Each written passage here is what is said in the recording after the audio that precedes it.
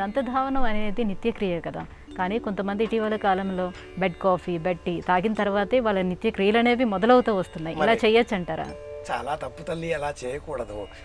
ఇప్పుడు ఏది తప్పో ఈనాటి కాలానికి అది ఒప్పుగా చెబుతున్నారు.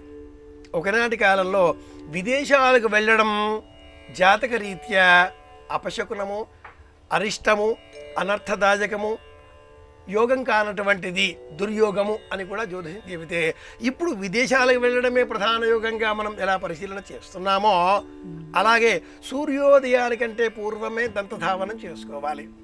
జీవన రసాయనం అనే అంశాన్ని ఆయుర్వేద శాస్త్రం వివరిస్తుంది.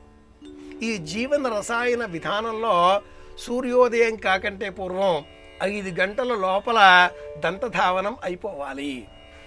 ఐదు గంటలు అంటే మూడున్నర నుంచి నాలుగున్నర మధ్యలో మన నోట వచ్చేటటువంటి లాలాజలం సలైవ అంటారు. దానిని మింగితే సమస్త రోగాలను ఆ సెలైవ రాకుండా కాపాడుతుంది. మూడున్నర నుంచి నాలుగున్నర. అంటే మనం మూడింటికే లేచి కూర్చోవాలి.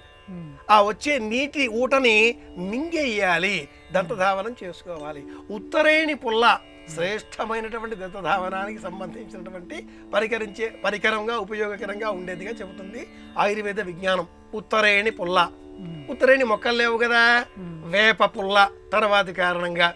అవి లేవుగా? ఇప్పుడు ప్లాస్టిక్ బ్రష్లకు మనం వచ్చేస్తున్నాం. అదైనా చేసుకోకుండా బెడ్ కాపీ బెట్టి అని చెప్పేసేసి పుచ్చేసుకుంటే సమస్త రోగాలకు నాలిక ఆలవాలం అవుతుంది.